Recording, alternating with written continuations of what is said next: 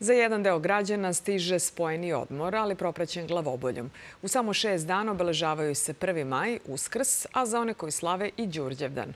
Navedeni praznici podrazumevaju trpeze pune mesa, a da li će puni stomaci isprazniti novčanike, proverava Lana Nanovski.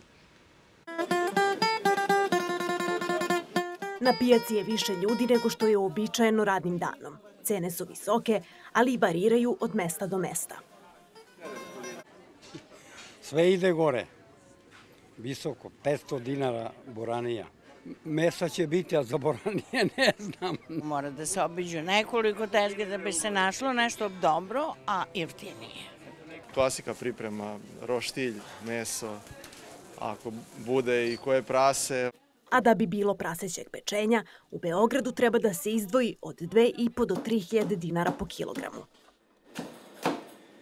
Potražuje se jagnjetina i prasetina, ali prasetina sad pomalo prati jagnjetinu, prije jagnjetina više, sad je prasetina malo, povećalo se više potraže za prasetinom, ali uglavnom kupuje se bez pečenja, nema slavlja. Za kilogram jagnjećeg pečenja treba izdvojiti do 3.500 dinara, a za sveže meso duplo manje. Sve to je za oko 500 dinara skuplje u odnosu na prošlu godinu, a cene i dalje rastu. Četiri, tri, četiri parčića onako da bude. Nešto je bitno bilo u onako nekom nekom ovaj malom poskupljenju od nekih 50-60 dinara u odnosu na Božić. Na tanjiru na kojem ima mesa ima i salate, takođe sklone poskupljenju. Možda će da budu malo skuplja roba za Vaskrs, ali sve u svemu tu, tu kreće se tu jeftino. Za 20 jaja treba izdvojiti između 500 i 600 dinara, a za jedno gušće i do 250.